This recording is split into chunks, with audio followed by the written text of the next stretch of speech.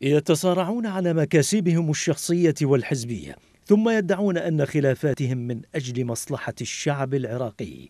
يقول ناشطون عراقيون وصفا للجدل البرلماني بشأن إقرار موازنة العام الحالي.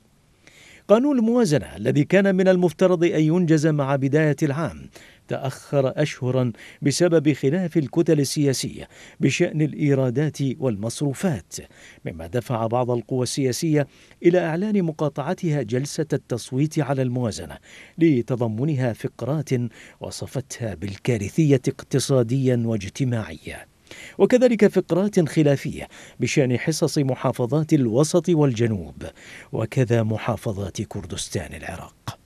المغيبون والنازحون ومشاريع إعادة الإعمار في المحافظات التي شهدت العمليات العسكرية ضد تنظيم داعش كانت هي الأخرى ملفات خلافية في الموازنة الجديدة. فكل ذلك يعني اموالا تذهب إلى جيوب بعض المؤسسات التي تتحكم فيها الأحزاب وميليشياتها. مما يعني بحسب المراقبين أن الخلاف إنما يدور على كعكة المكاسب غير المشروعة للأحزاب والميليشيات وليس من أجل تخفيف المعاناة عن الشعب العراقي الذي قمعته الميليشيات وأراقت دماء أبنائه حين رفعوا أصواتهم مطالبين بحقوقهم المشروعة.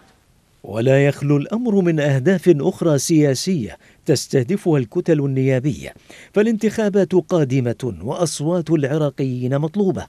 ولذا فمن الذكاء السياسي مغازلة أحلام البسطاء بالحديث عن رفع العبء وتخفيف المعاناة.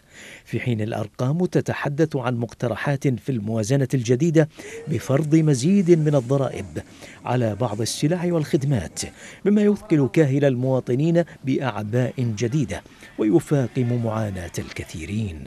في المحصلة فإن الجدل بشأن إقرار قانون الموازنة في رأي محللين يعد حلقة أخرى من حلقات متاجرة السياسيين بأوجاع العراقيين ومحاولة تحصيل أكبر قدر من المكاسب المادية والسياسية على حساب مصالح الشعب العراقي.